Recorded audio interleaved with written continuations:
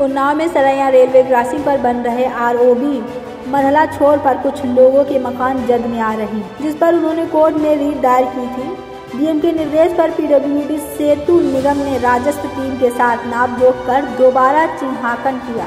स्थानीय लोगों को अब उम्मीद है कि यदि सही पैमाने से नाप हुई तो उनके मकान ओवरब्रिज निर्माण कार्य की जद में आने से बच सकेंगे। डीएम अपूर्वा दुबे के निर्देश पर पीडब्ल्यूडी के अवर अभियंता अखिल गंगावर राम प्रकाश के अलावा सेतु निगम के साथ ही राजस्व लेखपाल सत्यम शर्मा टीम के साथ सरैया क्रॉसिंग पहुँचे, जहाँ एक निर्माण सामग्री की दुकान के सामने मुख्य मार्ग के बीच से लेकर चिन्हांकन किया।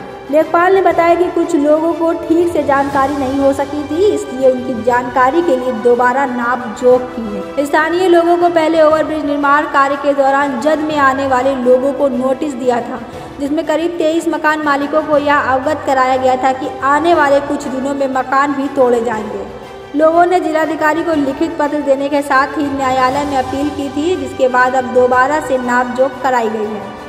राजस्व टीम की माने तो कुछ परिवर्तन होने के बाद मकान निर्माण कार्य की जद में नहीं आएँगे। Bureau report, IPN.